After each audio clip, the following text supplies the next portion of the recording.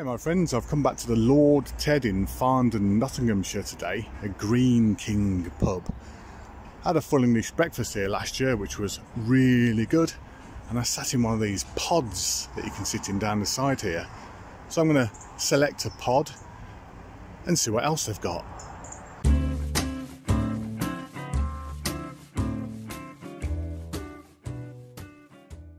So I'm going to sit here, number 111. I'll just go and grab a menu.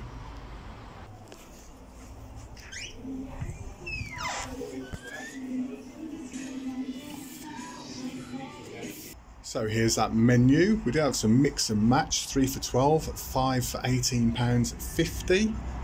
Small plate starters, there's your selection. Sides, open it up to reveal. So there's the pub classics. So if you fancy large fish and chips, 12.49, 9.99 for regular.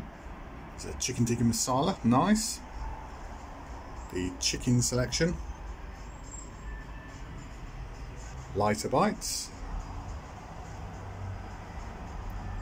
Then we have the steaks and grills and burgers. I think what I'll try today is the bacon and cheese burger, £9.29 classic beef burger topped with smoked streaky bacon and melted cheese. And on the back it tells you the carvery prices and a list of desserts. Alright, so that's the burger ordered. I got myself a pint of tap water for zero pence, just waiting for the food. So here it is, my friends, it's just arrived.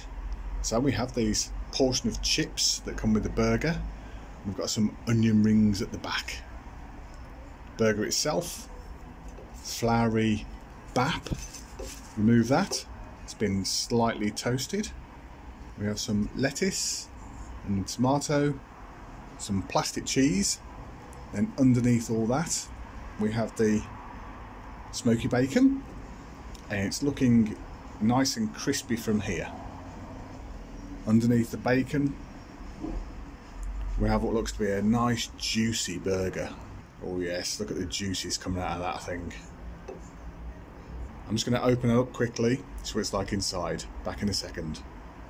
So that's what the inside of the burger looks like. Looks okay to me. I would say that the cheese slice could be a bit more melted. So perhaps put that thing on the burger when the actual burger is cooking or when it, at least when it's a bit hotter. These tomatoes back. These look nice and fresh as do the lettuce leaves.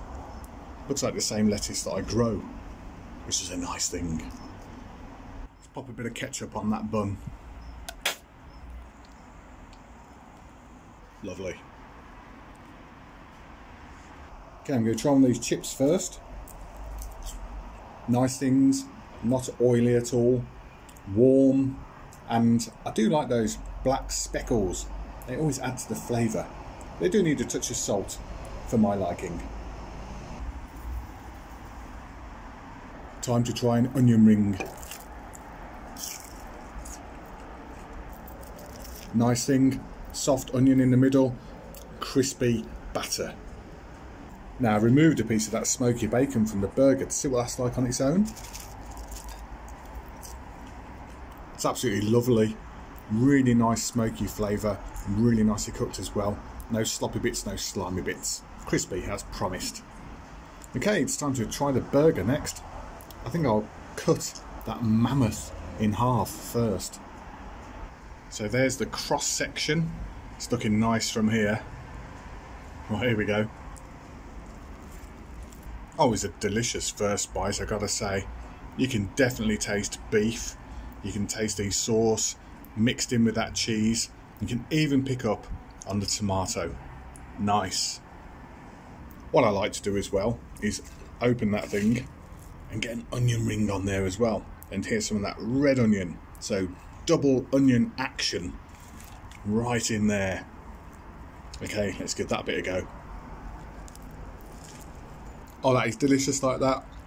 Now I remember why I put onion rings on my burgers. That sweet onion with a little bit more crisp, adding flavour and texture to this lovely burger. Incidentally, I'm just going to grab a tiny bit of that burger on its own. The burger on its own is nice. It is tender, it is juicy. It's not the best or most quality burger I've ever tasted, but it's good enough, especially for the price these days.